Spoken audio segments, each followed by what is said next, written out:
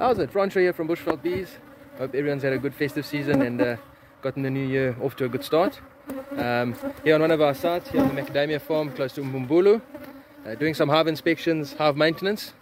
Um, yeah, having a look inside there how our girls are doing. If you guys want to come and have a look as well, we've already opened up one hive.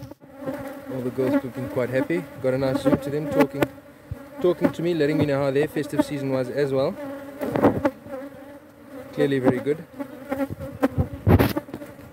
So if we just give them a quick smoking, it's on top here, so I can work.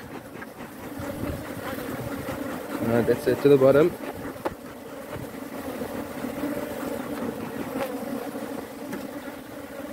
Right, so got the first frame here. Already taken one frame out obviously, just to make some space inside there for me to work with. As you can see, already got some nice capped honey on that brood frame. Look at that, lovely.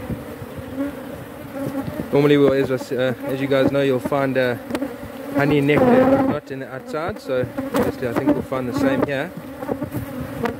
Yes, have a look at that.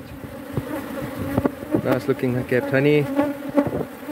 Got some nectar going there. As you can see, bees are enjoying life right now here at Umbumbulu.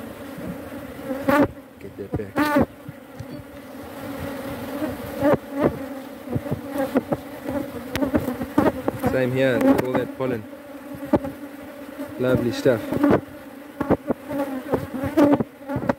As I don't know about you guys, but I can tell you what, it is very warm right now. I can feel we are in summer. What a lovely time to be a beekeeper, right? Look at that, just pollen. Should be getting up to the brood right about now.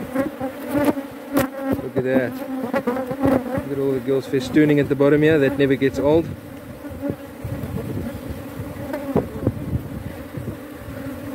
Lovely stuff. Got a bit of larva inside there. I don't know if the phone's going to pick that up. But yeah, I can see it. There we go.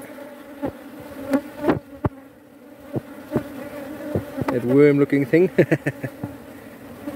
That's it. And then most of the middle here in this hive should also just be brood. Obviously you'll find a lot of pollen in the brood as well because that's the bread of the hive at the end of the day and that's what they feed the brood or the larva.